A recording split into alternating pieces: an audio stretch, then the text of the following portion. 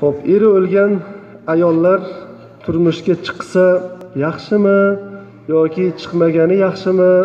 Shu haqida shunga yaqin bir savol tushuvdi savolni ham men hammanglarga o'qib eshittirganman ammo lekin vaqtimiz ziq bo'lganligi uchun savolni keyingi jumaga keyingi holatlarga qoldiruvdik.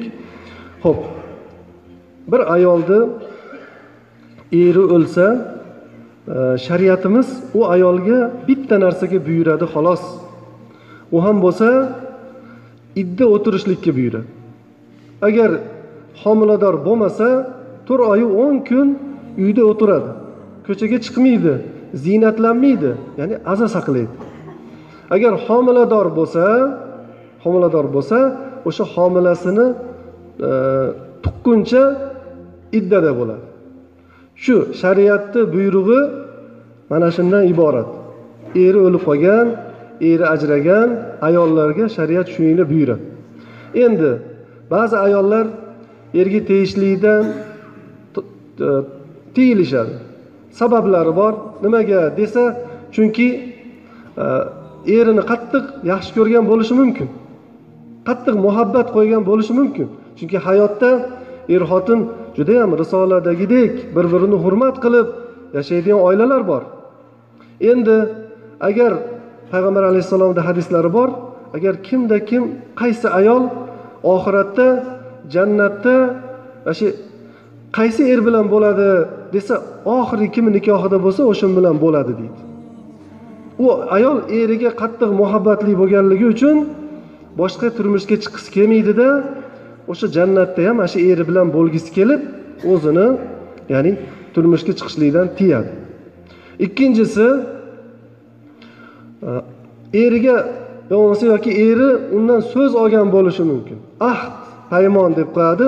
Agar mabodo e, men oldin sendan o'tib ketib qoladigan bo'lsam e, turmushga chiqmaslikka so'z ber deydi. Balkim so'z bergan bo'lishi mumkin.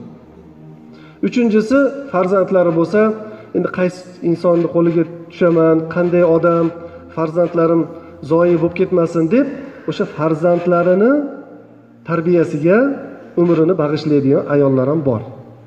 Endi shu ishi to'g'rimi noto'g'rimi? Turmushda chiqishlikdan erga tegishlikdan tiyilishi to'g'rimi noto'g'rimi? Ulamolarimizni fikrlari bor.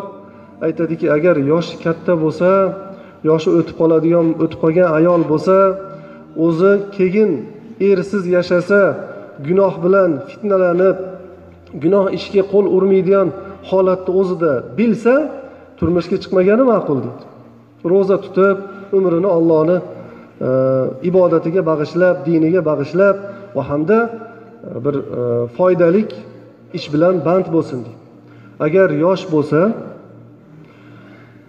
gunoh gunohga yurib ketib qoladigan nafsi bo'lsa o'zini tiyishlikka ko'zi yetmasa endi u ayolni turmushga chiqishligi vojib deyiladi.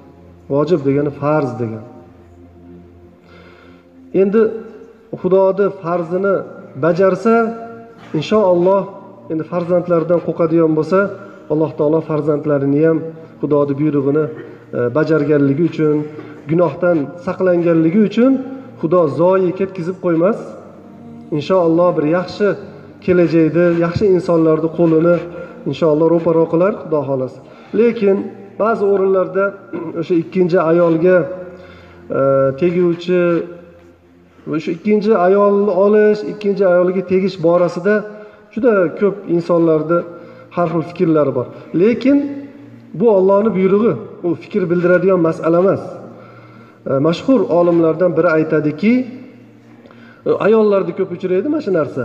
Agar kimda kim shu ollohni hukmini yomon ko'radigan bo'lsa chunki ikkinchi uylanish uchinchi uylanishda endi shariatimizda borda bu. Shu nima uchun olloh shu narsani e, shariat qilib qo'ygan ekan shu narsaga nima uchun buyurgan ekan? deb ichidan yo tilida yomon ko'radigan bo'lsa o'sha yomon ko'rgan ayolni amallari habata bo'lib ketadi. Chunki ollohni hukmini yomon ko'rganligi uchun alloh taolo sizni bizlarga sizni bizdan ko'ra yaxshiroq bilgan zot mana shu narsalarda ahkomlarni mashru qildi. Agar mana hozir g'arb olamida din islom tarbiyasi yo'q bo'lgan joyda farzand otasini tanimaydi. Ota bolasini kimligini bilmaydi.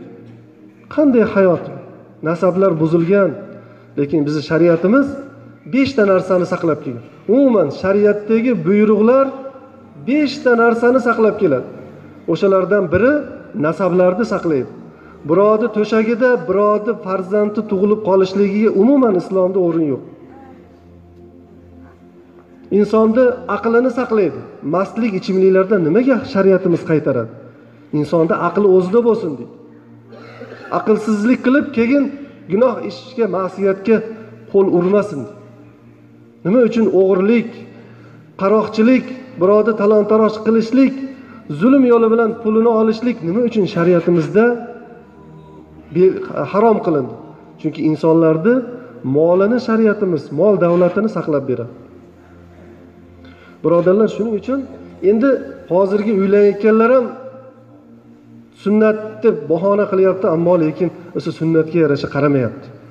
Ayollar ham yomon ko'rmasin buni ahkomini lekin iloji boricha o'sha shariatga muvofiq ollohdan so'rab duo qilib xudodan so'rasa inshaalloh alloh taolo ochmagan eshiklarini inshaalloh bandalarga ochadi. Ho'p alloh haq subhanava taolo hammamizni ham mm, to'g'ri yo'ldan adashtirmasin. Duolarimizni mustajob aylasin. Mana hozirgina aytib o'tganimdek olloh yaxshi ko'radigan xislatlardan bo'lgan hayo sifati bilan hammamizni alloh taolo sifatlasin. Ho'p yana bu yerda e, bir savol bor ekan. E, qisqa qilib aytib beraman yoki bo'lmasa keyingi jumaga qoldirsam ham bo'laveradi. Chunki insonlar masjidga kirayotganda o'sha sigaret chekib masjidga kiradi namozxonlarni bir birlariga o'sha turganda ozor beradi. Mana shu qanday holat deyilibdi. Albatta bu shariatimizga durust bo'lmaydigan holat. Nima uchun biz juma kuni g'usul qilamiz? Ba'zi mazhablarda vojib g'usul qilishlik ba'zi mazhablarda sunnat. Nima uchun? O'sha g'usul qilib o'zimizdagi yomon hidlarni ketkizib bir safda turganimizda namozxonlar bir birlaridan ozormasdan ozorlanmasdan ibodatlarini bajarishligi uchun shariatimiz shunday qilgan. Nima uchun xushbo'ylar sepiladi? Juma e, amallarini bittasi tishlarini tozalab musvak bilan g'usullar qilib xushbo'ylarni sepib kelinadi. Har juma kimni whatsappi bo'lsa mana shu narsa aylanadi. Bitta emas besh oltita odamdan shu narsa keladida. Lekin nimaga bu narsalarga amal qilmaymiz? Nima uchun e, teskarisini aksini qilamiz? Ozor bermanglar. Agar kimda kim jumani savobini to'liq olay desa o'sha bir necha amallar bor. O'shalardan biri birovga ozor bermasin. Birovga ozor bermasin. Ho'p birodarlar inshaalloh bu borasida men bir jumalarda butun juma eslayman. Sigaret o'sha insonni sog'lom salomatchiligiga ziyon keltiradigan narsalarga to'xtalib o'tganman. Inshaalloh yana bir bora to'xtalib o'tamiz. Lekin to'xtalib o'tadigan masalalar ham ona ko'payib ketdi jamiyatimizda. Alloh o'zi to'g'ri yo'ldan adashtirmasin. Ho'p